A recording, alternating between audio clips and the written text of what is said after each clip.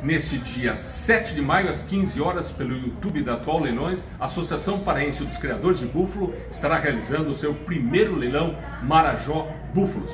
Contamos com os senhores, contamos com a sua audiência e vamos fazer um dos grandes espetáculos dos bubalinos na Amazônia.